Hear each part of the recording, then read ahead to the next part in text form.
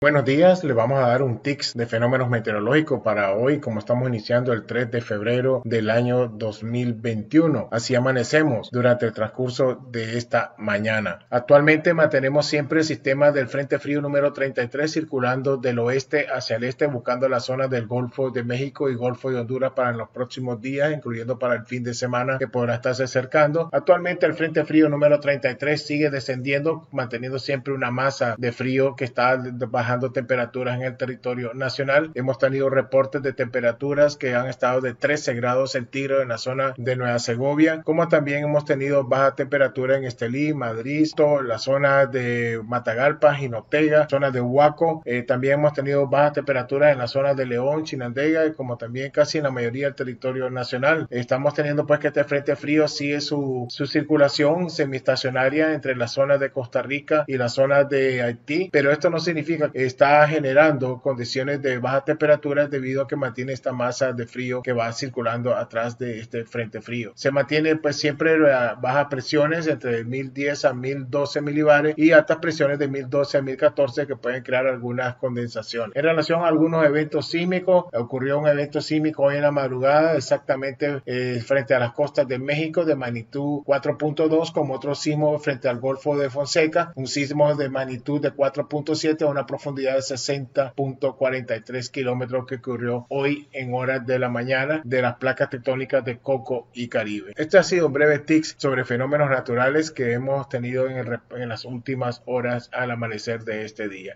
Siempre recordándoles tener cuidado con los cambios bruscos de temperatura, mantenerse con tapaboca, abrigado principalmente los adultos mayores y los niños al momento que estén yendo hacia las escuelas y que los conductores tener cuidado con la visibilidad ya que tendremos fuerzas de vientos que estarán afectando nuestro territorio nacional. En la parte del Caribe, mantenerse siempre bajo precaución en relación a fuertes ráfagas de viento que pueden perjudicar a las pequeñas y medianas embarcaciones de poco calado y deberían de tener pues siempre las precauciones debidas si es posible mantenerse pues en las próximas 48 horas en puerto para evitar alguna desgracia en alta mar. Lo mismo para la zona del del área de la Bahía de San Juan del Sur, el Gran Lago Nicaragua y solo trabajo con las pequeñas embarcaciones tener tomar precauciones. Este ha sido pues un reporte que le hemos dado desde el Observatorio de Fenómenos Naturales de Sofena. Les invitamos siempre a visitarnos en Facebook, darle like a nuestra página y compartir. Búsquenos como arroba ofena y ahí nos podrán encontrar todas las informaciones que le hemos brindado. Que pasen un buen día.